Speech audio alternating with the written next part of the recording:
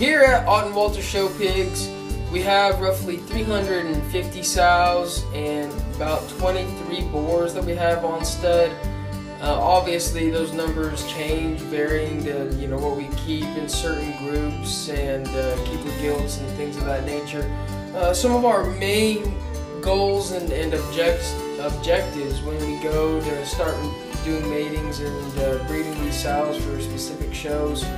Our, our main concern and priority, I guess, would be to keep females being what females are supposed to be. So being that they're sound and good build and square and still have the right kind of body shape to, to make good show pigs. Um, and then we kind of rely on, on the boars to put in a lot of the extras. But uh, as a whole, we feel like with a herd that big, when we have females with the least amount of problems as possible, um, that that's usually beneficial no matter what, what trends and uh, what popular things are going on out there in the industry.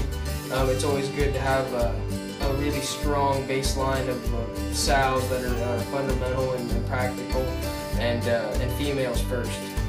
Uh, as, as, far as, as boars are concerned uh, and the, the, matings that we like to make, obviously we have very specific boars and we like to use all of our own, but usually we like to make uh, matings that just make sense as far as making the uh, sale pigs as good as they can get uh, to offer to all our youth exhibitors. And uh, we usually like to target certain groups um, varying to uh, all our county shows and jackpot shows out here in the spring and summer. And then and then really gearing hard with a lot of our very best sows to hit those shows in the winter like the Royal and the Arizona National Show in Denver and, and things of those nature.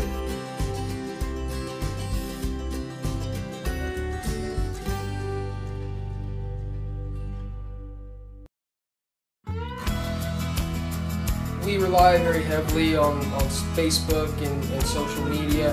Almost all of our, our, pictures and advertisements for our boars and our sows and uh, our show pig sales all wind up on Facebook and on on our uh, on our website. Uh, we also rely a lot on, on using the phone and communicating communicating with people uh, in, in that way as well. Um, obviously, we don't have a ton of time to constantly be posting everything we do on social media, but we definitely use that to market our uh, our show